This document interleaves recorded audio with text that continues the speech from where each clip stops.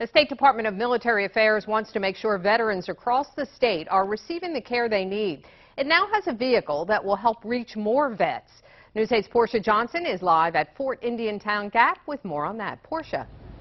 Hey, Susan. While the ribbon cutting for this outreach van happened just uh, moments ago, this is $104,000. Uh, Pennsylvania's Department of Military and Veterans Affairs paid for this, and it seats about six passengers. As you can see, it's handicap accessible inside. There TVs and computers.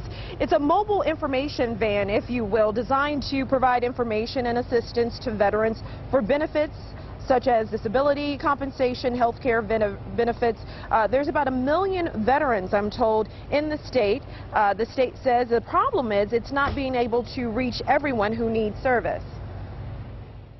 The issue is not necessarily that it's hard for them to get it, it's they don't know where to go to get it.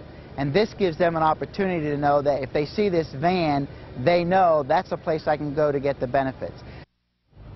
Now, this van has actually been out since May, and it has helped serve about 2,500 people so far. The hope is to get another van, um, and you'll see this van probably at community events, maybe even at convenient locations like the shopping center. Whenever you see this van, you know, hey, I can apply for benefits right here. Back to you. Portia, is there any way for people to know where the van will be? Well, no, not necessarily, not right now, but community organizations can fill out a request form with the state and request this van to show up at whatever event they're at. All right.